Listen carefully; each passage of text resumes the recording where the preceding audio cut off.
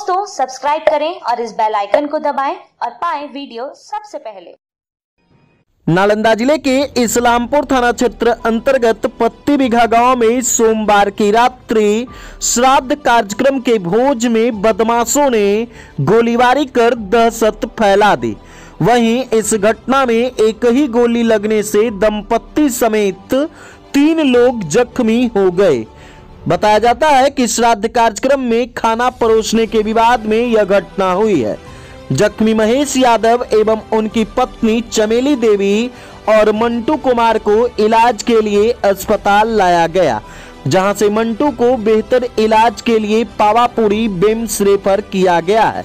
दंपत्ति को मामूली रूप से जख्मी कर पीलेट युवक के जांग में लगी थी। जख्मी बुज़ुर्ग महेश यादव घटना का आरोप शराब धंधेबाजों पर लगा रहे हैं। बताया जाता है कि शराब बेचने के विरोध पर घटना को अंजाम दिया गया है।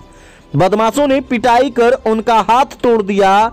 वहीं ग्रामीणों की माने तो ब्रह्मभोज के दौरान खाना परोसने में विवाद हो गया।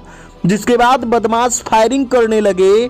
उसी दौरान एक गोली से दंपत्ति समेत एक युवक जख्मी हो गया।